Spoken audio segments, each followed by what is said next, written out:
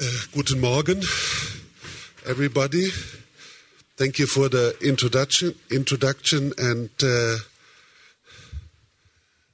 uh, thank you to be awaked so early.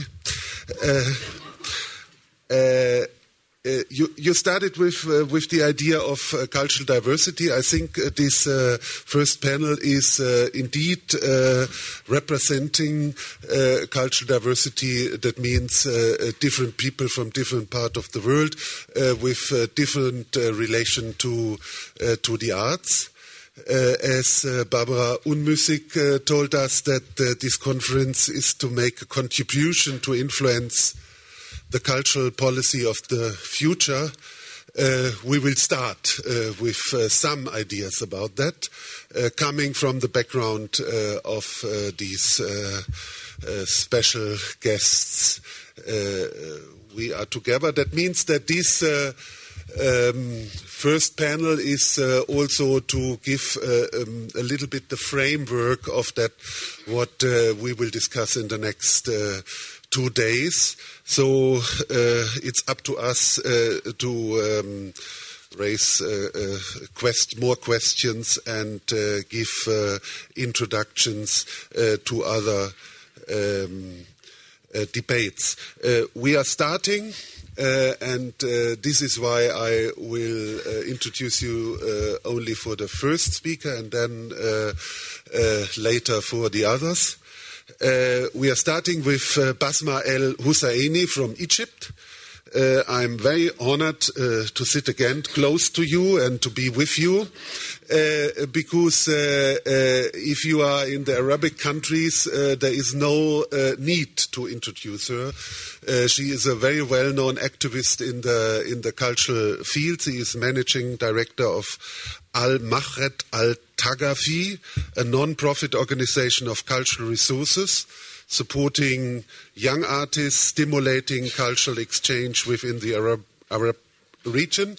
I met her last uh, December in Cairo, uh, where she, together uh, with the Goethe Institute, started uh, a conference about uh, culture and politics. So I think this is uh, the second part. We can continue, but uh, we will uh, um, guide you uh, through some observations from the point of view from Basma. It's your podium. Please start with the introduction. Thank you.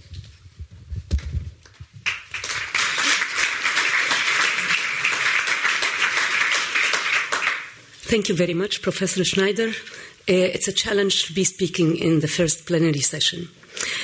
And I think it's even more a challenge for me because I'm talking on uh, what sounds to be a theoretical subject art and social transforma- transformation. I'm not usually a theoretical person. I'm a very practical person rushing around to do things all the time. I never have the time to, talk, to think about theory. So, anyway, here is my two cents of theoretical talk, and uh, I am uh, kind of experimenting with you. Um, there are many arguments why art is important. Some of these arguments focus on the utility of art as a conduit for critiquing social norms and political practices. Its value as a carrier of collective memory and history, its ability to conserve national identity, or its very useful contribution to the economy. These are all very valid and very important arguments, but I would like to talk about another aspect of how artistic expression, production, and activity can be essential for social change. What happens when someone writes a poem, takes up acting, plays a musical instrument, or paints an image that has been hanging in his or her head? Of course, many things happen. She or he discovers they need more training. Neighbors complain. He or she worries about what other people think of the work. Friends and family love what they do. But the most important thing that happens is that this person becomes more powerful. They obtain power over things that are beyond their immediate reality And this transformation on the individual level is hardly only a personal matter. Creativity or the power of imagining things that cannot be immediately perceived by our five senses is a personal ability. But its impact goes far beyond any particular individual. This power is contagious. Receiving or interacting with creativity is empowering. Perhaps I use the word empowering in a liberal way. What I mean is that participating in an act of creativity enables people to feel and think beyond their immediate reality and outside their usual capacity. How can this be useful in a process of social change? I would argue that the creative power is one of the most essential assets during social change. To get a society to change the values and norms that hinder its prosperity and well being, to do this, you can use the media, or you can use art as media, and of course, you can use force. But the change will not happen until this society wants to change. The desire for change is mostly fed by the power of creativity, the ability to think and feel beyond reality. How can people want change if they lack the ability to imagine what it would look like? No way. Another thought about how art is vital for social change. I think we all agree that the process of changing social values and norms is a long and complicated one. Such a process involves small and big changes on the political, economic, and moral levels. Often, this process is not a rewarding one on the short term because the changes are hardly visible at the time they happen. You cannot see them when they happen. The best example of this, as probably you all know, is Europe over the past two centuries. It is only through art that these changes can be accumulated, can be distilled, and then express, expressed in forms that can be understood by people and people can relate to. Now, that I have shared some of these uh, theoretical remarks about the value of art during social transformation, I will move to the topic that you probably expect me to talk about the Arab Spring. It is only 13 months ago that a massive popular protest movement started in Tunis and resulted in major political changes in four countries in the region Tunis, Libya, Egypt, and Yemen, and an ongoing struggle for freedom in Syria and Bahrain.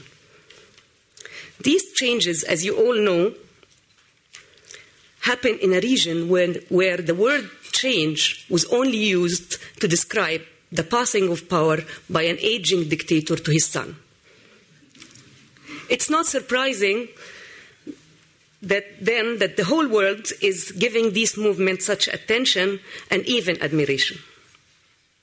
I'm not going to attempt to give you any kind of political analysis of the situation in Egypt, my country, or the rest of the region, as I am no political analyst. And quite frankly, even the best international political analysts have not been able to explain or predict the ongoing changes or where they are going.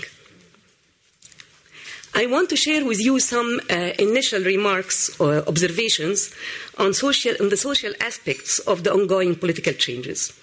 These observations are an attempt to explore the impact of the political changes on the society's value system. My first observation is about age. As you have seen on television, these revolutions were, are led by young people. The vast majority of people taking to the streets are young men and women. More than 90% of those killed by the old regimes are under the age of 35. In Egypt, 75% of the victims are under the age of 25. Almost all effective activists who are organizing sit ins and demonstrations, uh, printing and distributing uh, political leaflets, blogging, making videos, etc., are between the age of 20 and 35 years old. This is natural in a region where the majority of the population is under 35 years old. And with the current population growth rate, this ratio is rising. Yet, in the four countries where the heads of the, of the old regimes have been overthrown, this is Tunis, Egypt, Libya, and Yemen, and where some sort of uh, democratic process has started, it looks like the new political scene is dominated, in some cases entirely, by people who are over 60 years old. In the recent Egyptian parliamentary elections, out of the 498 members of the parliament, less than 10% are under the age of 40. My second observation is about women as you may have seen on television, women were at the forefront of the political protests. Uh, in most cases with men, and in some cases in women only demonstrations. Some of the most outspoken and world known uh, faces of the Arab revolutions are women. Nawara Negm from Egypt, Samar Yazbek from Syria, uh, Tawakkul Karman from Yemen, and many more. Many of the most important civic initiatives in, in Egypt, in particular, like no to military trials, which was a, big movement started uh, some months ago against the uh, trials of civilians under military law. Il Fanni Midan, which is a cultural initiative, and we will not forget, which is an initiative to commemorate the, those killed by the Mubarak regime and those who continue to be killed until today. All these initiatives were initiated and led by women. Again, despite this, only six women all, un- uh, all over the age of 40 have been elected in the new parliament. My last observation is about social class. Social justice was right at the very top of protest demands in Tunis, Egypt, Yemen, Syria, Bahrain, and to a lesser extent, Libya. Even though poorer people did not participate in large numbers in the protests in Egypt at the beginning of the revolution, the slogans raised by the revolutionaries were predominantly about removing social injustice. Since February 2011, poorer people, mostly from urban slum areas around Cairo, constituted the majority of people protesting against military rule in Egypt. However, in Egypt as well as in Tunis, the newly elected representative councils and the political elites are focusing their attention on issues related to the transfer of political power rather than on addressing some of the acute social issues such as unemployment. It's not clear yet how, when, and if the ongoing political changes will lead to major changes in social values and power relations in Arab countries. One would assume that this is something that would happen automatically, but this was not the case in many historical examples. Just think of Czechoslovakia, Ukraine, Romania, Iran. On the other hand, very rarely in history, incomplete political revolutions led to everlasting social changes, such as in France 1968. Toppling dictatorial and corrupt regimes is a very difficult task that requires courage, sacrifices, and perseverance. But changing the social values and structures that produced or sustained these regimes is a very long and often ambiguous process. In the first instance, the political change, the enemy is identified and can be easily targeted. In the second case, the social change, the enemy could be us. The beliefs that social inequity and gender inequality are natural and sometimes even sacred, and that old age entails social and political advantages are deeply rooted in our cultures. However, these political changes, with the accompanying uh, relative freedom of expression, make it possible to question such beliefs. This could represent an opportunity for those advocating social change to initiate some investigation on the impact of these values, the values about gender inequality and social inequity and old age dominating uh, the society, the impact of these values on our future. It is unrealistic to expect more than that on the short term. But not to be pessimistic. At the same time, it is vital to maintain a vision of free, just, and open societies in our heads and hearts, and to think of every little step we take towards achieving this vision as a victory. This requires incredible strength, as, as we will often be defeated and beaten. This is actually what's happening now in Egypt. We will inevitably doubt if the little gains are worth the sacrifices offered by our colleagues and friends. When we look around for the source of strength and determination, for any source of strength and determination, what is the one source that makes us feel and think beyond our immediate reality? My answer is art. Thank you.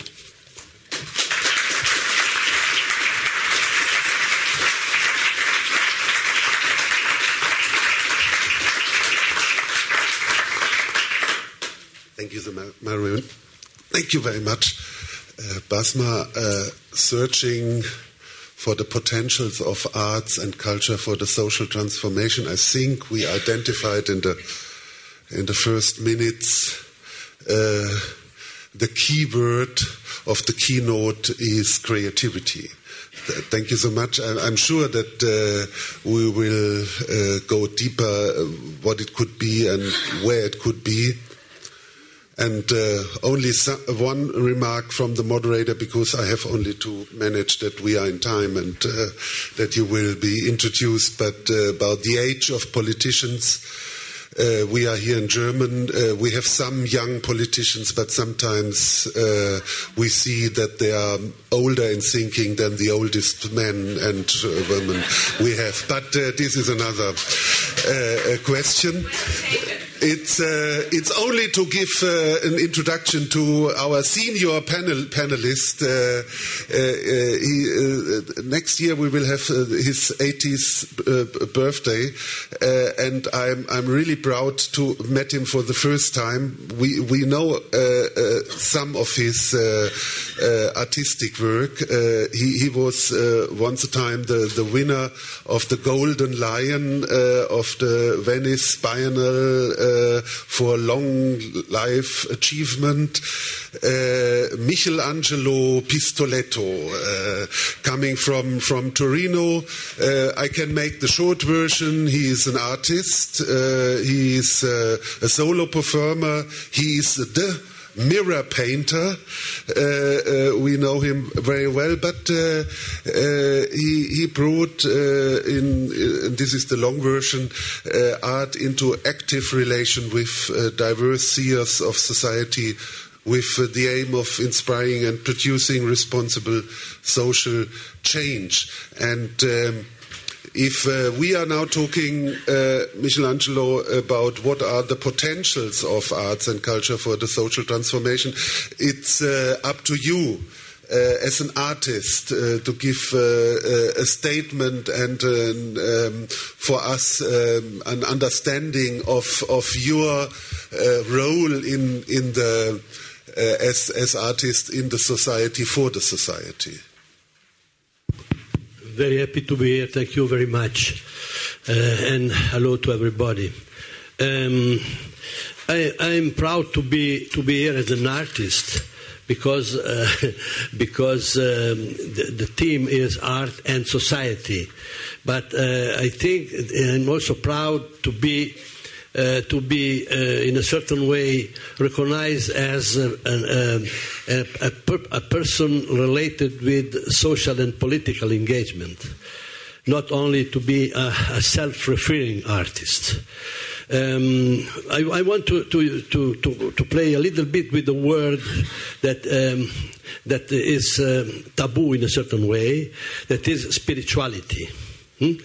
Uh, we speak about society, we speak about politics, we speak about everything, but we never use the word spirituality.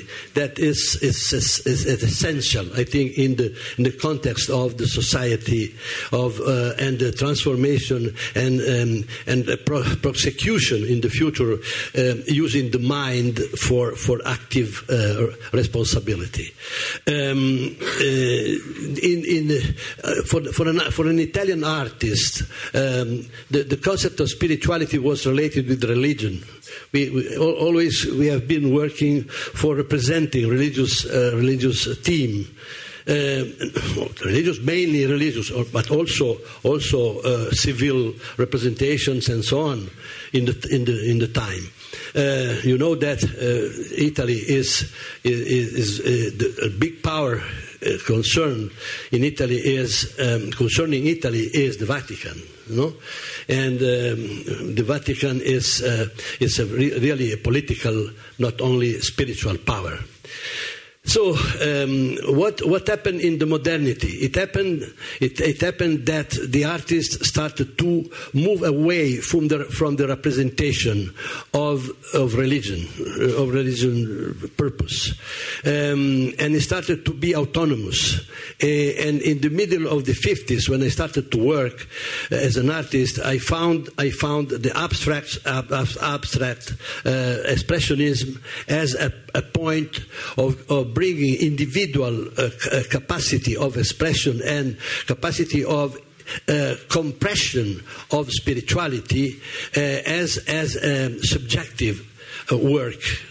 Um, each one was making a personal work, a pers- personal signature. All the artists were very individualistic, but at the same time, this it was a way to stop to represent this, uh, this uh, religious concept of spirituality and bringing spirituality in, in individual, uh, in individual uh, power, individual, individual compression.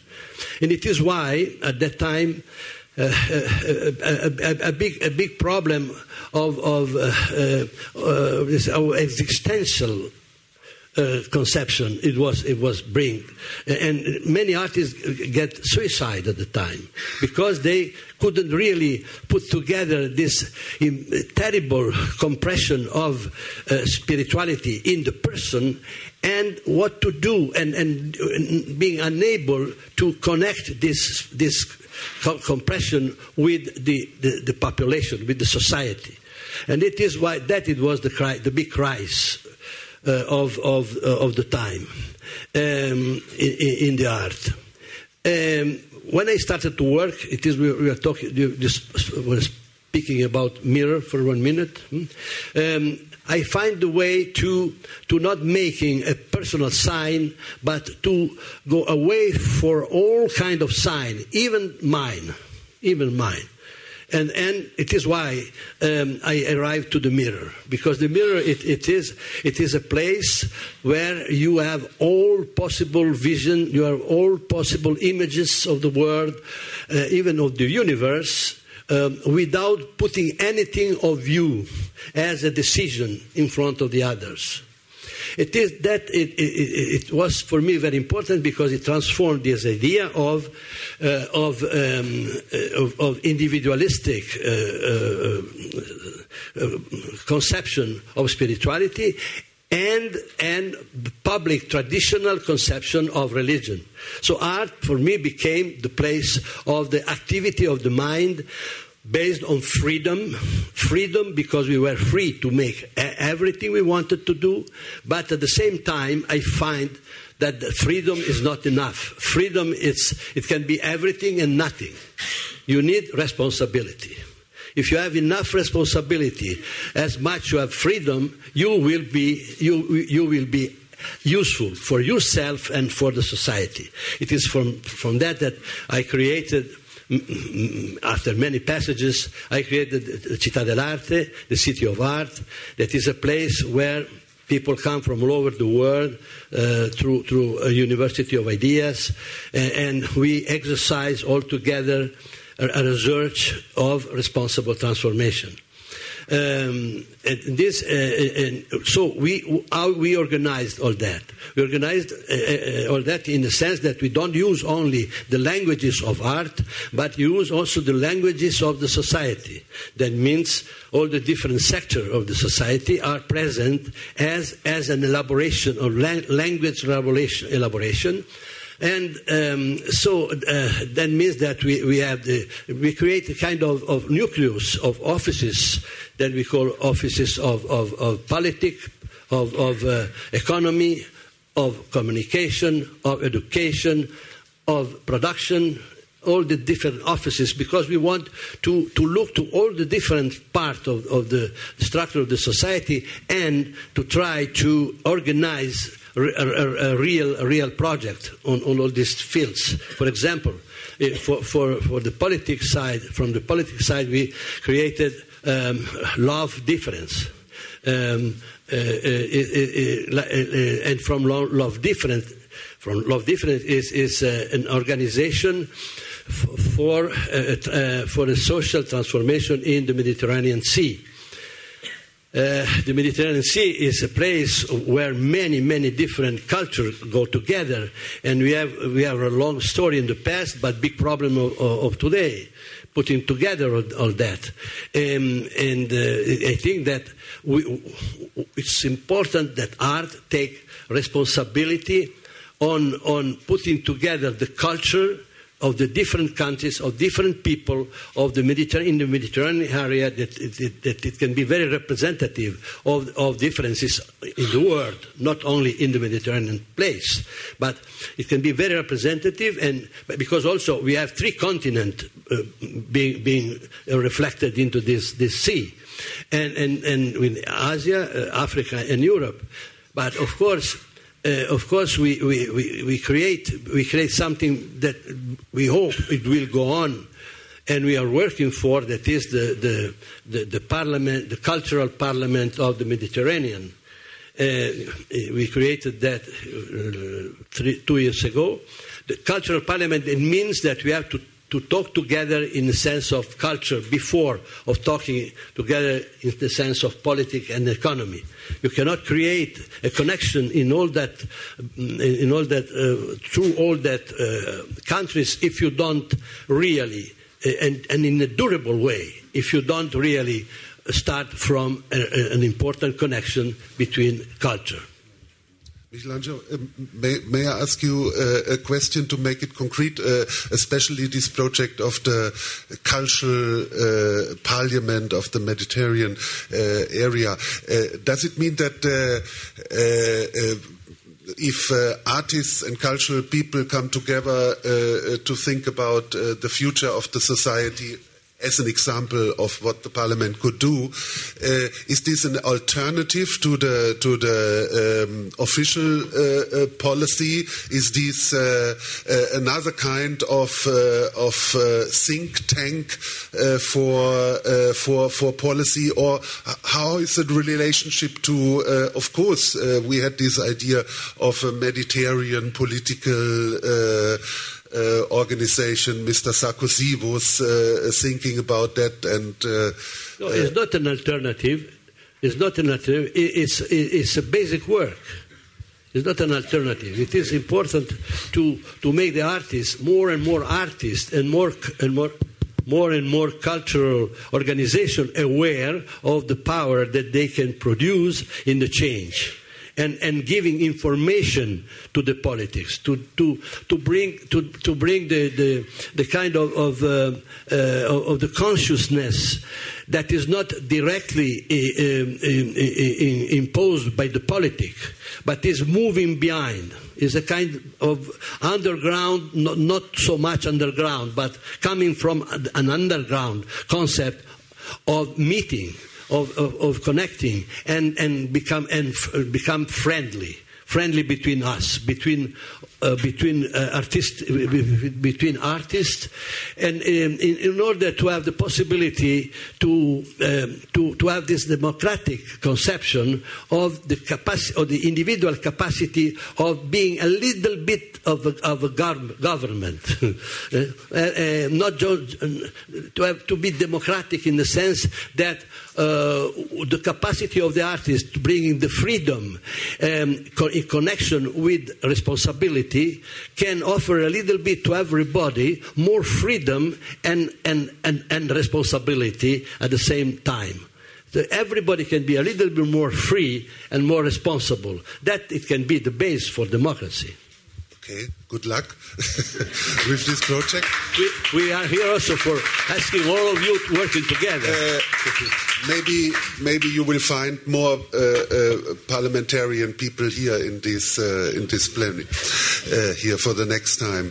Um, uh, from the Mediterranean region south to Africa to Nigeria, Bisi Silva, welcome to our panel. Uh, uh, is an independent curator. Uh, so you, you you you know the work of uh, Mr. Pistoletto? Yes, actually, I'm honored to be sitting next to him and to be on a panel with him because um, I one of my favorite works at the Venice Biennale in 2009 was his work, and ah. I took ah. lots of images in front of the mirror. And, so and uh, it's really you, great. You, you, bought one of his uh, um, things? All, uh, no, I think that'll probably take a hundred years for me to pay it off. it, it's a pity, but maybe we can arrange something later. Maybe he can make a very uh, small mirror. These were large, life-size mirrors. So. Okay, Bisi is founding director of the Center for Contemporary Art in Lagos and was responsible for for, for several uh, uh, biennales, uh, Thessaloniki, Dakar, and so on and so on. But uh, uh you are working uh, with artists, and you are in a way an artist because you are curating these exhibitions. Yes. Is this exhibition, especially in your country and in your yeah, uh, uh, uh, around your country. is this something where, where you find uh, uh, another identification of uh, the, the role of, of arts and artists for the society? Yeah, I'll just um, give you a little um, background um, with regards to the Center for Contemporary Art, which was started in 2007. I think um, it's interesting for me to be um, in this kind of um, panel, but my starting point is the curatorial and it's actually the artist's work. Although I am interested in um, artists who are whose works are um, about engaging socially. So what I want to do is maybe just um, go through one or two examples of the way in which I work um, all the exhibitions that I organize, they're not all um, about um, social transformation. Um, I think that what we do is to provide the platform for artists, different artists, to um, articulate um, their ideas um, within within CCA. But I remember about two weeks ago, I was talking with a colleague, and um, one of the um, the discussion evolved around um, can art really transform um, society? And the sort of parting um, conclusion was that, from his side, was that um, art it's it's difficult for art to really um, transform society because the audience for art is um, small. And most of the my work is visual art so it's not music or um, theater that has a wider audience. Um, the, the, the, the, the audience for art is small. For example at CCA any exhibition that we do the average audience is about 400 um, although we do about six or seven exhibitions um, a year um, but he did say that um, art can um, transform individuals. Um, you can transform society one individual at a time. And I think that, you know, that's the starting point for um, what we do. Um, some of the exhibitions that we've done, which I think within a Nigerian context is very important. Um, first of all, just to say that CCA, the, the, the art scene in Nigeria is extremely conservative.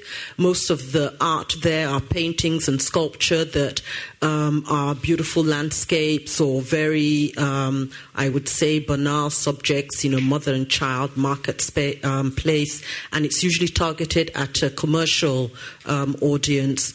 And I thought that was why it was important to set up something like um, CCA um, Lagos so that we can be more provocative and more confrontational in what we do.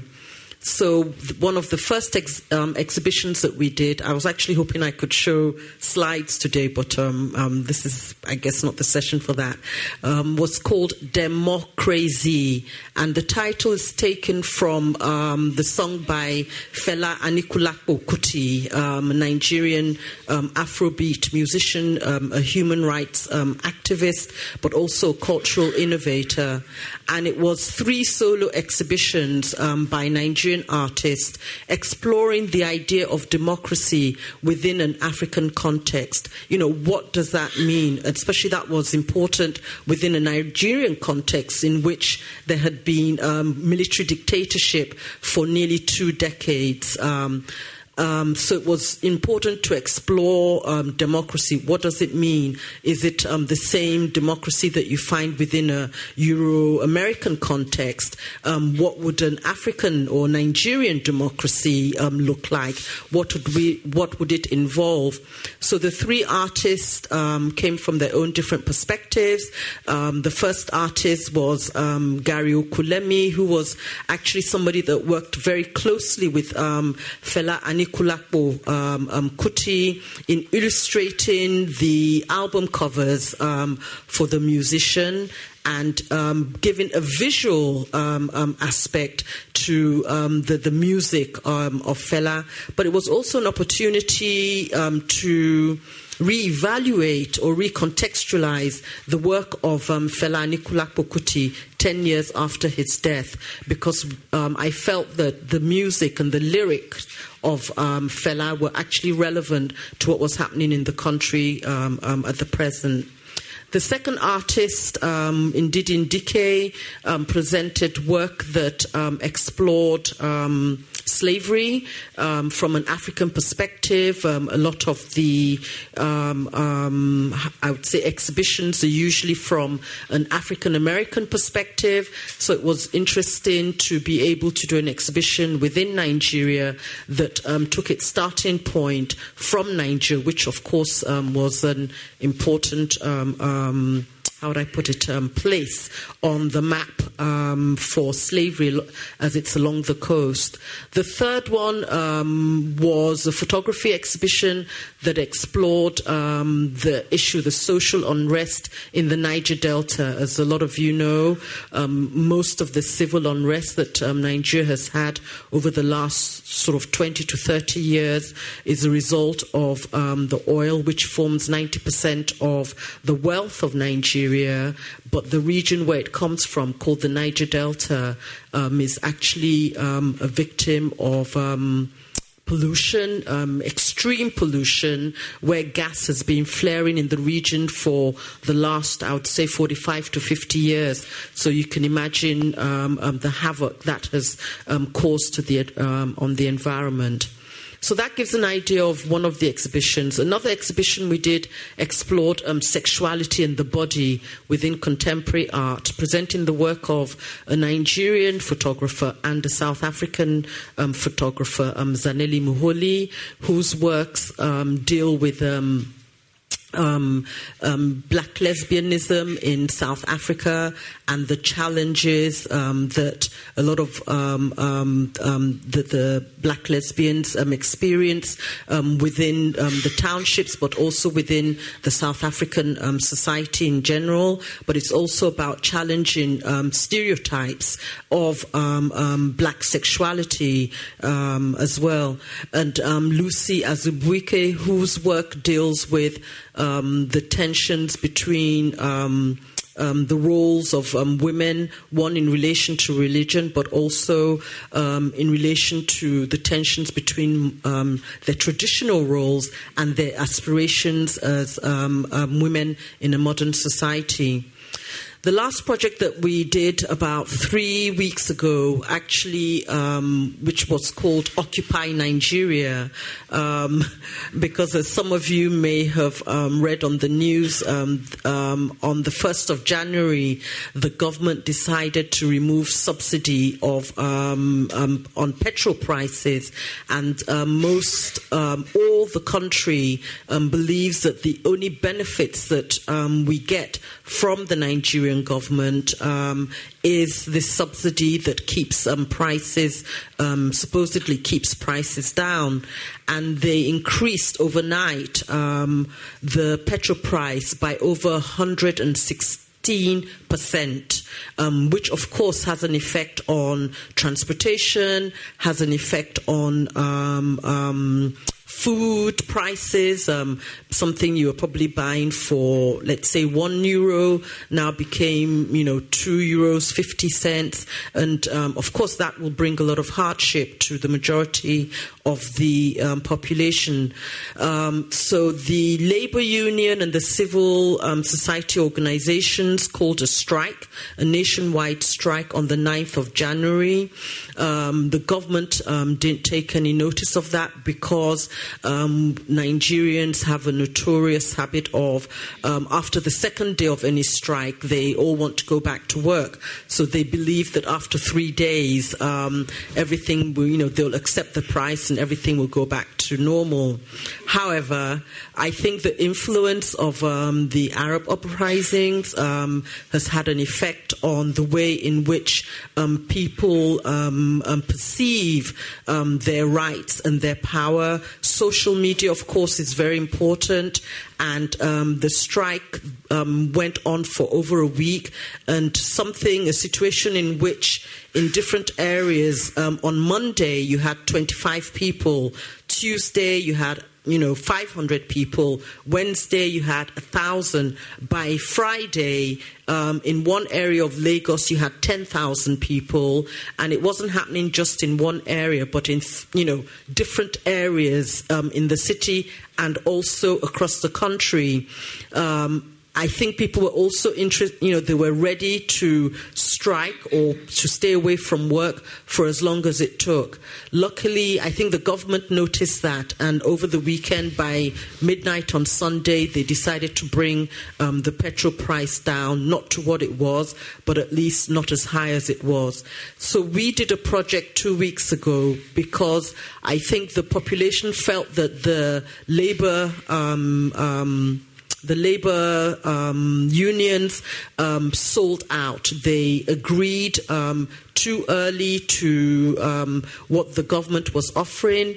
And also, we could see over the week that it now, the, the, the protest moved from being about petrol price to governance, to corruption, to how much the government was costing, to the lack of infrastructure for education, health, and so many other things. And I think the government um, saw that this is now going to snowball into something else. Um, after the end of the strike, um, I think people still wanted to discuss what went on during the strike. So we um, we organized an event in which a lot of photographers, um, we chose the work of about four or five photographers. We projected the images that they took um, during the protest. We invited um, a sound, uh, sound artist who had collected over 5,000 Twitter images, and we had a panel discussion with different um, artists, lawyers, writers, so that they can begin to talk about what happened um, from a cultural perspective. I mean, I'll talk more. Um, later on. But just to give you an idea of the kinds of programs, you know, that um, we do at CCA, and I said it's, you know, one step at a time, you know, that we can hopefully begin to, as a cultural organization, begin to engage with um, some kind of social transformation within Nigeria. Thank you. Thank you so much. One one question more, but uh, before I, I, have to thank you that you were so brief. Uh, you told me you was uh, prepared for 90 minutes PowerPoint presentation, so uh, which were uh, okay because we had a, long way to travel to Berlin, but uh, we, we have to be uh, quick here. And, and we heard a lot uh, now that uh, artists could make, uh, especially in the society, these forums, these forums of debates, discussion, of thinking. and, and we now. Um, experience that there is there must be more than only a forum. It must be a kind of infrastructure. It must be an institution like uh, your uh, uh, um, a, a gallery and and and and this uh, um, possibility to meet and and to give impulse. And you told us also that uh, social media, of course, is very important. We we saw it especially in the last two years in the Arabic world and and in other parts. But uh, um, one short question and one short answer. Um, of course, uh, uh, if if you have a, um, a presentation, an exhibition, it's not for for the for the whole public. It's not for the whole society. How many people are in Lagos? Well, uh, nearly 18 million. Okay, okay. Uh, but uh, uh tell us about this communication uh, uh, a little bit. What is going on to push it? Is it indeed Twitter and and your website and and or what is going on? Is there something? We have in the in the in the newspapers uh, sometimes the discussion in the uh, special pages, uh, the feuilleton uh, uh, uh, is also a political debate. Is is there something yeah, you I, can I think, use? I think um, now um, that social media is playing an important role, especially in Nigeria. Um, a lot of people are using Facebook. Um, we have a high percentage of um, um, Facebook users. Look at Twitter messages that are going um, out, and people can instantly say, you know, we're meeting in a certain part of town. Um, why don't you come out? Um, you know, they can communicate that even though, you know, you look on the Western media and you think the whole place is in flames, but, you know, even I went out um, um to um, gather with the protesters. So I think that the use of um, websites, Twitter, Texas, you know, these are now um, educating people that, you know, you have to be part of this process of change and people are going out. The artist felt that responsibility to go out and document what was happening, um, not only photographers, but now you have um, a, perf- a, performance artist. He went out and did a performance um, during the protest. You have a sound artist who's collecting Twitter messages. You have photographers who are documenting. So that's really interesting. You have writers. There was a writer who said he collected um, poems um, from um, um different people. So the cultural sector, which sometimes can be quite complacent, that's within a Nigerian con- um, context, with um, um, taking part actively. Um, this time, the musicians were out there, the actresses were out there, you know, really engaging with, with what was happening. So it's uh, the question of networking and uh, the question of uh, uh, action of, of different artists. Thank you so much. Uh, we have another example. We have maybe a very concrete uh, example from Palestine, Alessandro Petti. Welcome to this panelist chair of the Urban Studies Program at Al Quds University in Abu Dis. but you are living in Bethlehem. Uh, and uh, he is director of um, uh, um, an organization which is decon- decolonizing architecture art residence. And, and there is something concrete behind which could give us maybe an example for uh, active artistic transformation. Please uh, give us a short introduction. Okay. Um, but maybe I would like, because I was very inspired by the beginning of this conversation. So instead of maybe just presenting what we do, I think, I hope that will come out during the conversations.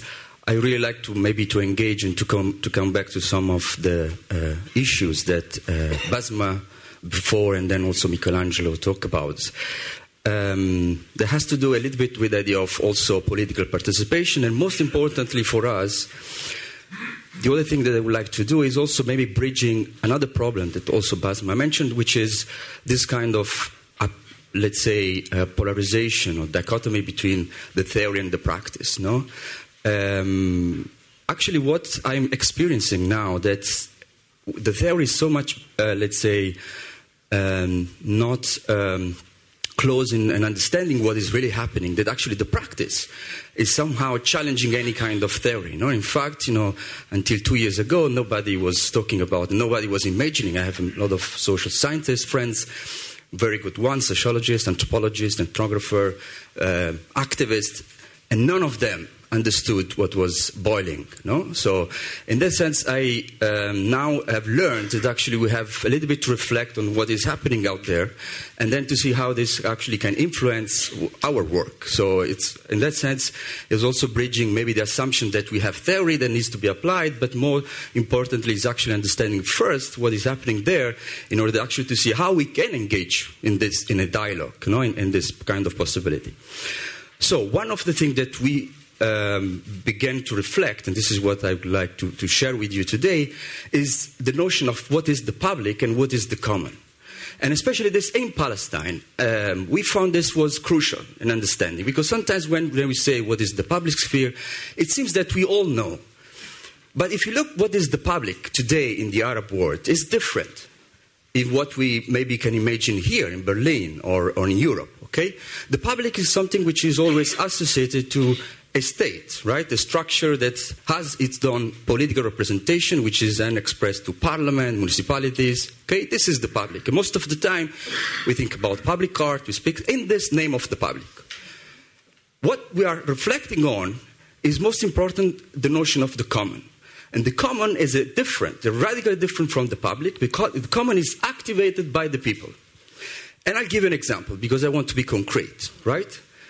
Um, I realized that Tahrir Square was transformed from being a public space in a common space when I saw people cleaning the plaza. This very banal act that uh, it was uh, performed, it's a clear manifestation in the Arab world that this is place is belonging to you. Because in the Arab space, since the state has always embodied, and the public space always embody the other, it's not yours, it's state, it's not yours, okay? But when people started cleaning up the plaza, this was a common space. This was something that's belonged to you. You're taking care of the place. And this is why Tahrir Square, Square was like a city, no? was start to be organized. Something that was not anymore, let's say, the roundabout that was conceived uh, for uh, belonging to the state. Okay, was turned in a, in a different function. So we are very much interested in understanding this kind of practices that then are very much contagious because the all Occupy movement, all movement uh, it's all about reclaiming these spaces, have been expropriated by the public, okay? So the paradox, and, and coming especially from, let's say, a kind of architectural perspective, no, that comes always that whatever is public, it's good, no? It would be impossible to think that, you know, the public could be something which is not actually for the people. And I'll give you another example. In Palestine, for us, it's the real manifestation of how the public expropriate what is our common. Uh, in Palestine, whatever have been, uh, there were different kind in relation to the land. There were different kind of uh, common spaces, and all these spaces have been expropriated by the state of Israel and transformed them in public. Public means only Israeli used. So this was killing any possibility for the Palestinians of having any common space. And common spaces were not something abstract, were inscribed in law, were inscribed in practices, were inscribed when people were cultivating the land all together. This was not even signed, but were used in a kind of common space. But then it comes the state, a colonial state, and says, this is public. Public is not yours anymore. Public is the state. And the state, in fact, then is manifested through the colonization because all the settlements are built on public land. This is one of the, our, even in a way, in that way, we even had to actually read back to our own projects. And we understood one of the first projects was actually reusing the Israeli settlements. And we didn't realize that most of the settlements, 99% of the settlements, the Israeli ones, are built in public spaces, but these spaces were common. So these were expropriated from the people. They were not, and then they will say, we don't expropriate private land, but this relegates the Palestinian only into the private sphere. There is no possibility of, of having, let's say, something which is collective, okay? Sorry, I just. Uh... wow. Sorry. But this is let's say this is what i am trying to learn right from uh, from outside how this is also goes back to our own practice okay? The other point i think that was briefly mentioned that i've learned it has to do with political participation and representation no? And one of the projects that we um, uh, engaged with it was how we can reuse the palestinian parliament building. It was built actually in abu dis and never, and never been used and then we realized that the very idea of a political representation is something that it doesn't actually say anything about how people can really participate. So I think here, what we, again, we can maybe um, learn as a lesson from uh, uh, from the Arab revolts and revolutions, the Occupy movement, is actually that here there is an invention of people understood that through simple having somebody represent you doesn't work. Okay, this put in question the very idea of democracy. Okay? The very idea in which we think that this is how democracy works. You have a parliament. No. Doesn't work like this. All of this movement says the political participation is I'm a person and engage into politics. Okay? There will be nobody that have to mediate or translate. Okay? Because then you end up in you know a system in which you are completely disconnected. And this is also let's say goes back also into into a dimension which is people finally understood that in order to um, politically being relevant, you have to occupy spaces. Okay? And for us in Palestine at the beginning, we had this kind of strange feeling because occupation for us it's like something very problematic. But at the end, you know, we were very happy because maybe we say, you know, always our work is about decolonizing uh, let's say spaces, maybe also we can start to decolonize the very word of occupation, no? So in that sense, it was also important to say people uh, understand that you know you have to be in what was before, in the origin of, of a public, you know, like a presence in the city, people understood that this is why people were ready to, to die in Tahrir Square because they wanted to stay there, because they understood if they would be removed from the physical space, everything can disappear. And they still feel that going back is keeping alive their political participation. Beside all of what is said about social network, okay? It's fine, it's okay, but let's say it's much different the fact that actually we have to have a presence in the city in itself. And this is again, a practical example is in Bahrain which is one of the revolutions that you know people will not like to talk about for many reasons. But in Bahrain happened the same thing, and, and the regime understood and destroyed the Pearl uh, roundabout. Okay? Because they exactly understood that this was the center of the politics. This was their parliament. The parliament is not what is you know, supposed to, what you had in mind when I say parliament. The parliament is today Tahrir Square, the roundabout in uh, was in Tunis at the beginning, the boulevard uh, of Bourguiba. There are all these places where people feel that they can actually open something which is new, something that actually is so much advanced in terms of practice that all our theory, so in that sense we have to reconcile that and try to understand how this practice are actually changing even our own definition of what is the common, what is the public, and what is the private. Thank you. I, think it's. Uh, and it, it's it's, it's very clear uh, and uh, very connected to that what uh, Basram uh, Basma said, because it's uh, the, the, the, the, creativity of, of the individuality that, that means and, and the individuals that uh, that it's you must be part of, of that, and this is what you talked about. could you give us a, a concrete detail if you are planning such a project? In changing? What what what is uh, the, the participation? Uh, is is there uh, is everything open? Is there everything dedicated to the, the people who are interested to, to live there in later in this area? You are you are an architect. That means you are also a kind of, of artist creating uh, uh, a daily life with uh, with your with your work. what is the concrete participation in this this planning process?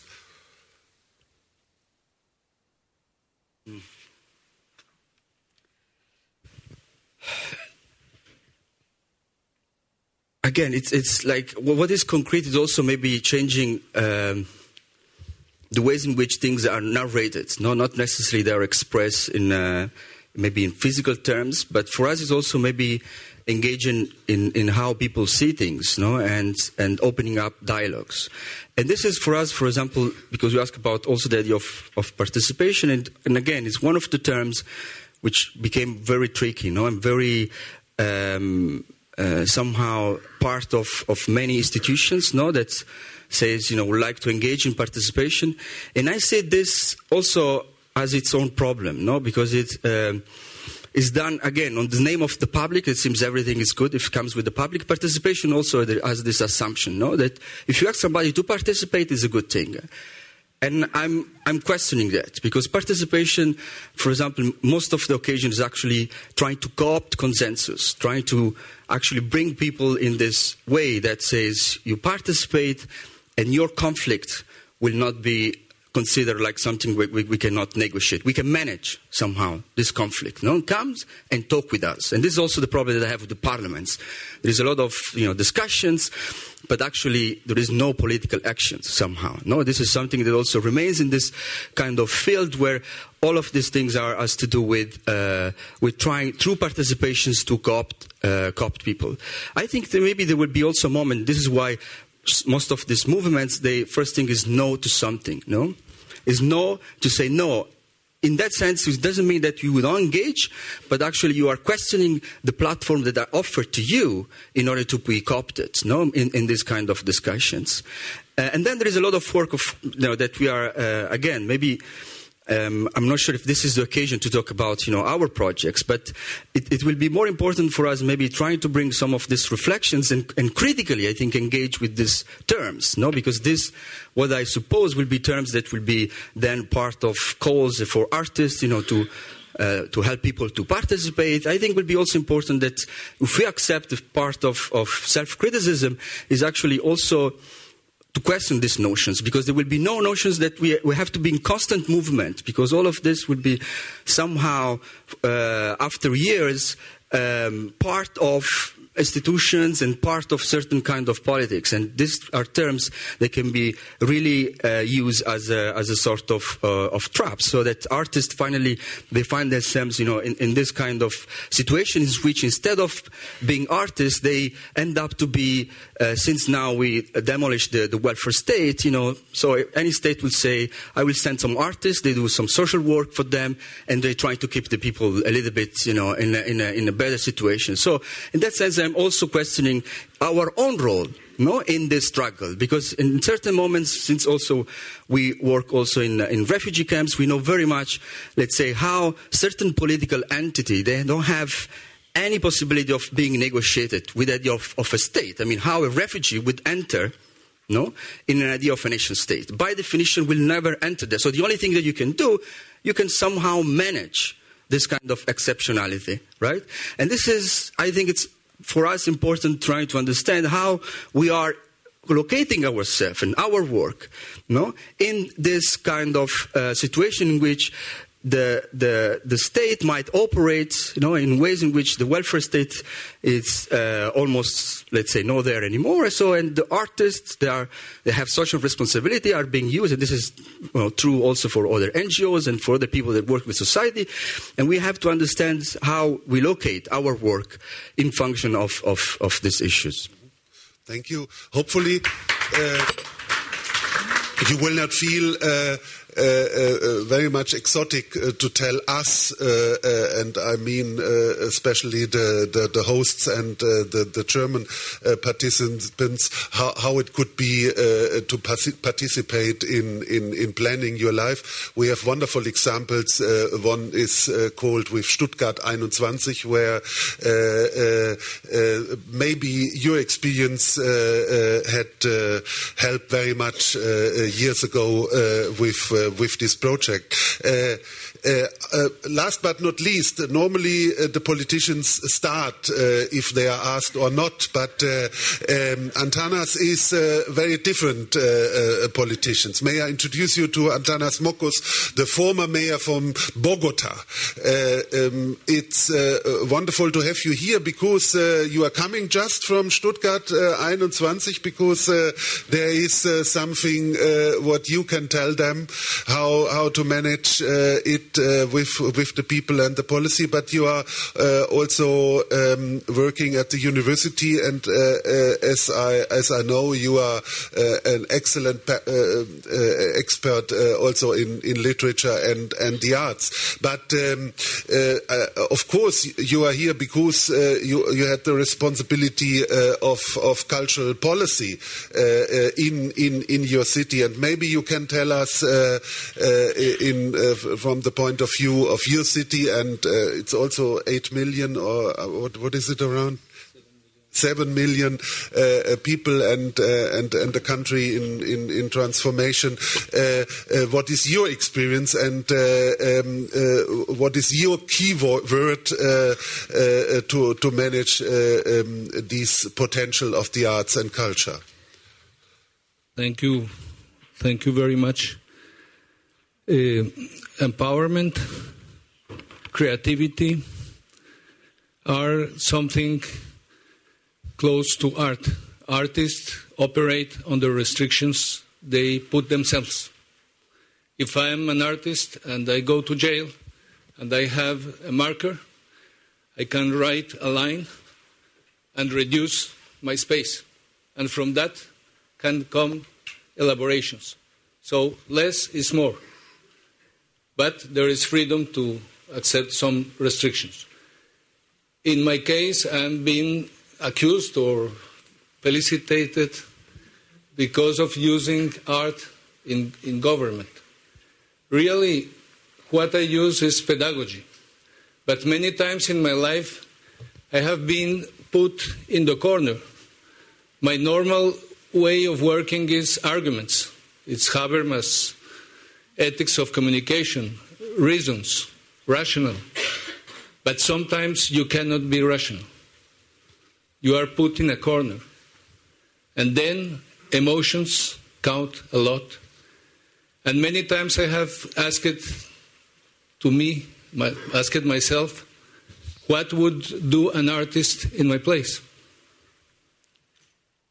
I remember I had promised to do not speak to people who hide their faces. And I got in a situation where I had to speak with them. There was an official intermediation commission, a very tricky one. We were on constitutional change in the country, and they had occupied a part of the university. So I took a seat. I seated like that. They said the people with the kabuls can enter the room. I ask them to uh, put up, but I will not risk to know them and to identify them. And I don't know if they listened and, and spoke without kabuls or with kabuls. But we found a sort of non previsible way out. There are also some small events that are important as sort of condensed perception. In Colombian surveys, politicians have 6% of trust, and teachers are 60. Each time I go in a hotel and I have to put occupation, the temptation to say I'm a teacher is total. Some moments of inspiration. One night, a homeless recognizes me and shouts, Antanas, I've got my ID card. Just that sh- sh- shouting voice. When I have to define citizenship, citizenship, I can use Hannah Arendt's short definition it's the right to have rights. But the image that I have, the sound that I have, is this homeless? A girl, we prohibited uh, fireworks because each year there were 300, 250 wounded people with artisanal fireworks. One girl, after that, seeing me on television on the day that she was on the third birthday, asked to have a visit to the mayor. So I was uh, very proud, a girl of three years once, as a gift for her third year to, to know me, vanity. And the mother explained to me that they lived both, both uh, in a poor neighborhood, and the child saw me working on this story of fireworks. And we took some water, some, some sweetness, sweet things, and they were going out. And the mother said, Hey, Mr. Mayor, I was forgetting to tell you something. Each time I'm going to hit her, she takes the telephone. She doesn't know how to mark the telephone, but she says she calls you.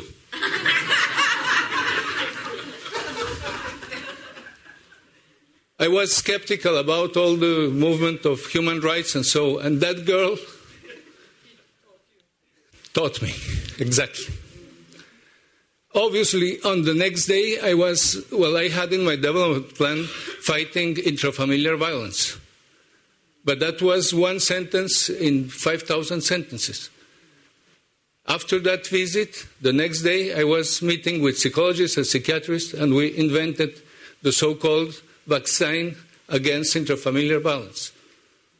It's a, it's a very strange thing, and I have not repeated it, but we made two Sundays separated by one month as sort of installations. 50,000 people got through on first Sunday, 30,000 got the second. It was a strange thing, and technically, perhaps we have today a lot of doubts. But a psychologist, a psychiatrist was receiving the, the people and asking, who has hurt you the most in your life? Here there is a balloon. Draw the face of the aggressor. Now we put the face on a body full of balloons, and the psychiatrist or the psychologist says, if you meet with him, suppose he's here or she's here, what would you say or do, him or her? Allow yourself. Half of the cases, people aggressed physically. The first time we did, the aggressor was the father of a small boy. When the small boy was going to explode the head of her, her father, I was intervening. The psychiatrist was cutting my hand and saying me to, to the ear, sometimes you have to take part. And so she deculpabilized, uh, she helped to reduce guilt feelings. Okay, we've also made it by, by phone.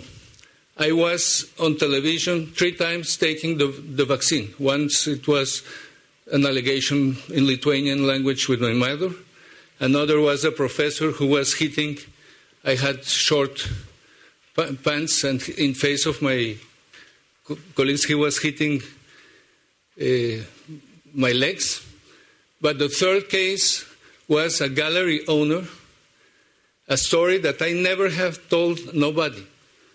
No my parents, no the therapists, no the girlfriends, nobody knew about that story. At Sunday, this man was teaching me rest, wrestling in his gallery uh, that was closed, and Technically, he didn't uh, undress me, he didn't violate me, but I had no words to describe the experience. And I knew that that was an experience taboo.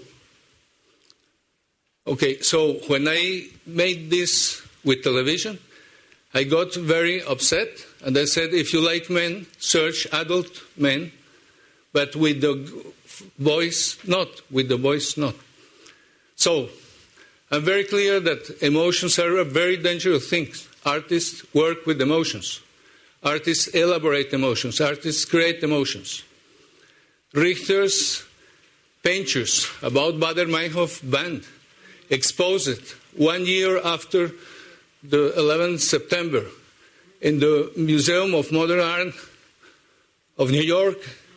It's a very kind way of reflecting and helping to change in a collective manner the appreciation of terrorism.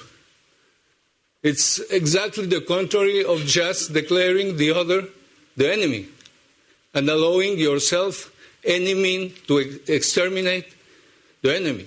Hatred is very different from indignation.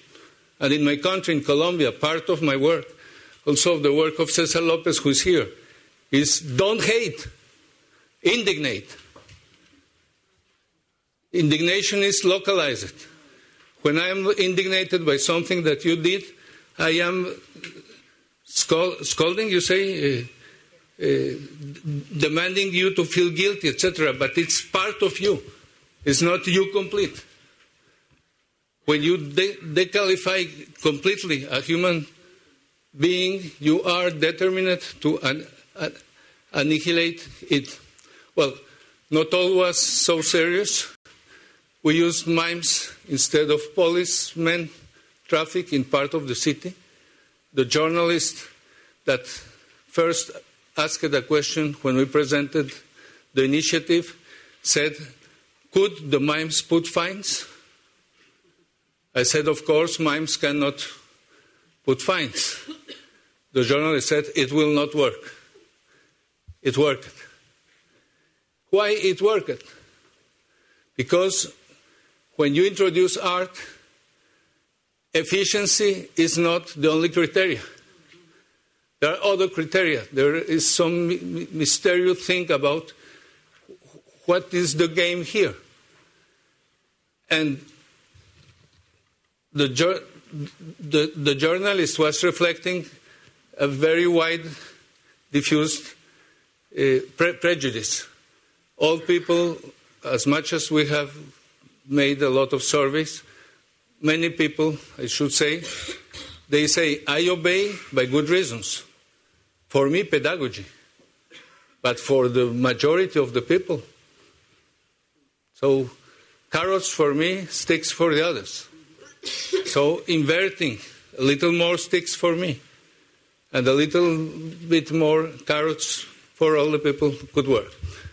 And another initiative, I promised more, more taxes. The first time it was a sort of joke. I had the sort of luxury of saying I will be elected even if asking more taxes. It's not normal, but it will happen. It's, it's playing a little bit. But the second time I was elected, the need of new taxes was very clear. We had an economical crisis with people with 30% less income in real terms. So we had to take taxes and to build quickly a bigger capacity of having people in public schools and in public hospitals. The councilman said, You were elected for rising taxes, but we not. So they didn't approve the taxes. So I introduced an oxymoron voluntary taxes. In Spanish, is impuestos voluntarios. It's, it's, it's totally con- contradictory. And 63,000 families about 3% of the families of Bogota paid 10% more voluntary taxes. In that moment, the councilmen accepted the taxes. If they would not do, we had descriptions of what would not do the city, very concrete. In your neighborhood, this will not be done. And also, for example, in a bus station called Heroes, we had the names of the 10 first persons who paid voluntary tax. We had meetings. One woman, well, in many cases it was trust, it was social justice that motivated the payment. But one wo- woman said a very beautiful thing. I know. I know it, uh, it happens all, all, all the time. You, you, are, you are going to say the last sentence? so, a woman says, This year I can pay more taxes. Her freedom. Normally, if I ask you more taxes, it's stable. Here, it was a possibility of paying as much taxes as you can afford for one year, and you can program. So, my dream is that some academicians will take that idea, coming from a playful way of solving circumstantial problems, to programming tax through life. If I want to have a, ch- a children in three years, I can pay two years higher taxes, but I can ask the, the, the, the state to be less demanding on me on the next years. So thank you very much. Thank you, Antonio. Was it uh, was it a politician? Was it a professor? Was it a performer? Uh, uh, we saw a wonderful introduction in a kind of policy uh, uh, which is very much dedicated uh, to the people. We, we have to come uh, to an end, but uh, this is the power of culture here on stage, so we can tell them, all the uh, managing people in the back, that we will sit for five more minutes because we will finish it with another statement from, from Basma, because I would like it's not uh, uh, the, uh, um, the, the really final word because all of you will be involved in, in several other uh, groups. But uh, I, I, would like to mention uh, this book I, I read before we met in, in Cairo. It's about cultural policy in Algeria, Egypt, Jordan, Lebanon, Morocco, and so on. And um, with the help of the European Cultural Foundation and coming from um, from a first meeting in Beirut and uh, uh, we, we started with, with, with the idea of, of Mrs. President, uh, uh, what kind of cultural poli- policy should it be to, to make all this possible, also your uh, special involvement. And I know you have a concept in the pocket, but uh, this is uh, uh for, for another uh, meeting. But maybe you can uh, tell us one or two important pieces of, of, of this concept of cultural policy you would like to fight for. before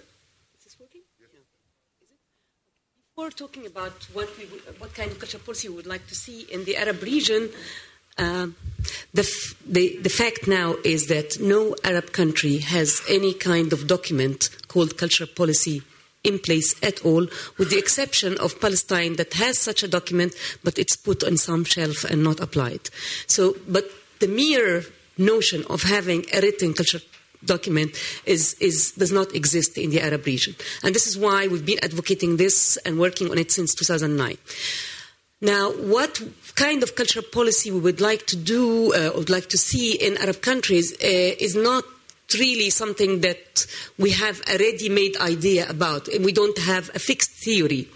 Uh, we think that the um, uh, arriving at a cultural policy should be a process that is participatory, democratic, and open, and should involve all active players on the cultural scene uh, in every country. It's not something that government bureaucrats should uh, write in closed. Uh, sort of meetings, but uh, it's something that can be initiated by the, initiated by the civil society, which is happening now, because uh, as the result of this uh, research, which uh, Professor Schneider mentioned, we now have national cultural policy groups that are uh, led by the civil society in Morocco, Algeria, Egypt, Jordan, Lebanon, and Syria, although it has been suspended for now. Uh, so these people are not only monitoring what happens on the cultural policy level in these countries, but are drafting cultural policies and alternative uh, legislation uh, in these countries.